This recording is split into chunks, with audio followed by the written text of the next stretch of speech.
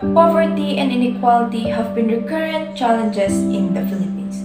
It is one of the worst social problems that we are still facing right now, in which the person or a family entirely cannot fulfill his or her needs and wants.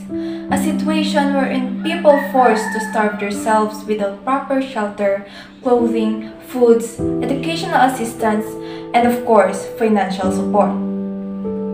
Poverty incidence increased from 30% of the population in 2003 to 33% in 2006. The number of poor families increased from 4 million to 4.7 million in 2003 to 2006, and the number of poor people also increased from 23.8 million to 27.6 million in the same year.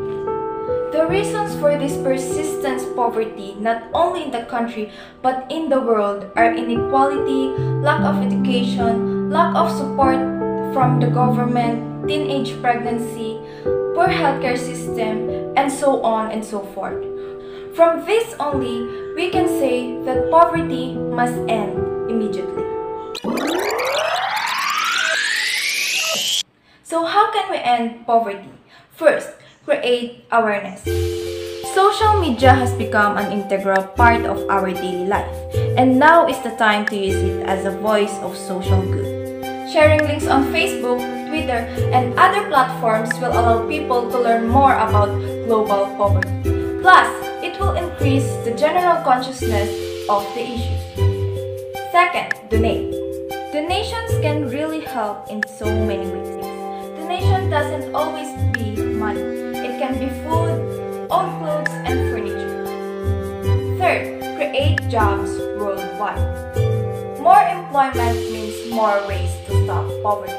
Creating a job especially for the poor will help not only the people but the development of the country. And lastly, education. Education helps to increase individual earnings for every member of a family.